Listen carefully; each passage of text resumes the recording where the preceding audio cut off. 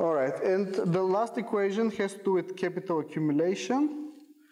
Capital, physical capital is, is crucial in, in a dynamic model because that's the variable that links uh, different periods.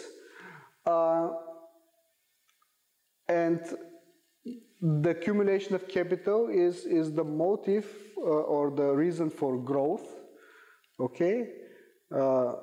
Countries grow by accumulating capital. How, how, can, this, how, how can this happen? We can increase uh, the stock of capital by investing, right?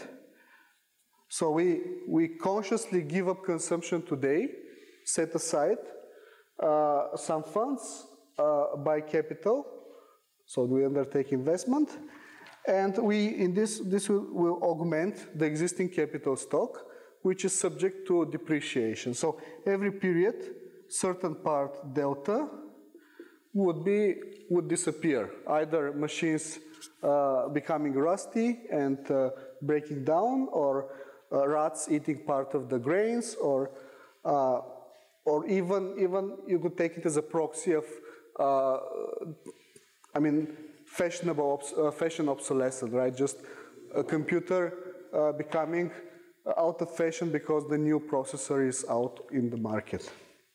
Okay, so this, this is called the, the capital accumulation equation, and you already see the dynamics here because uh, so far we only have static conditions, so the same time subscript. Here, for the first time, we have two neighboring time subscripts. And this equation, in a sense, will be uh, one of the driving forces mechanically in the model because the, uh, the capital accumulation motive is, is, is a very important in this framework. Um,